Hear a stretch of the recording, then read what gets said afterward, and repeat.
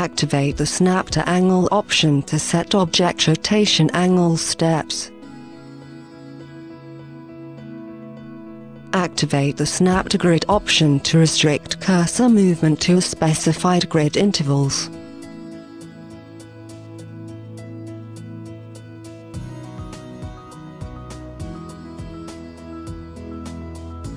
Deactivate the various snap aids to, to draw freely and without any restrictions. You can customize the snap to angle and snap to grid interval values.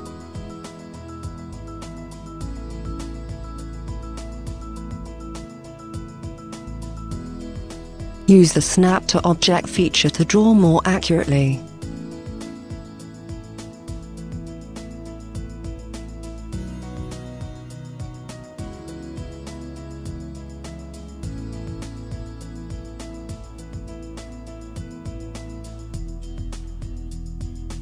F9 activates the snap to angle option.